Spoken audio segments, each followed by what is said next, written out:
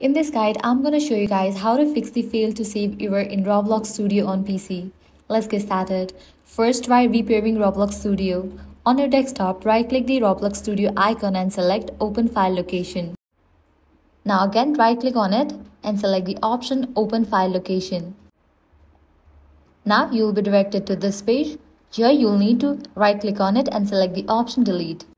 This will repair and reinstall Roblox Studio automatically. After that, reopen it and check if your game now saves properly. If repairing does not work, try publishing your game instead of just saving it. Open Roblox Studio and load your project. Then click File at the top left corner and select Publish to Roblox. Tap Create and your project will be saved to your Roblox account under My Games.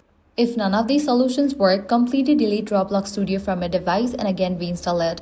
So launch your settings, navigate to the option Apps, click on the option Installed Apps. From the list of apps, find Roblox Studio. After it appears, click on three dots and select the option Install. Then open your browser and search for Roblox Studio and download it. And that's it. These are some fixes for Roblox Studio fail to save error on PC. If this guide helped you out, do not forget to like, share and subscribe. Thanks for watching.